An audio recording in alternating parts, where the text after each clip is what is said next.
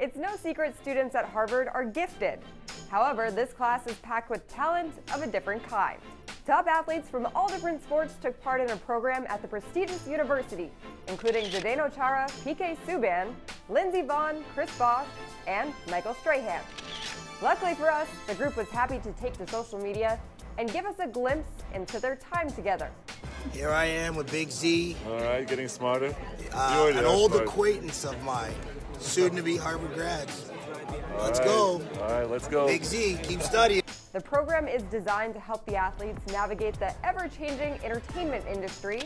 A plus to everyone so far for keeping us entertained.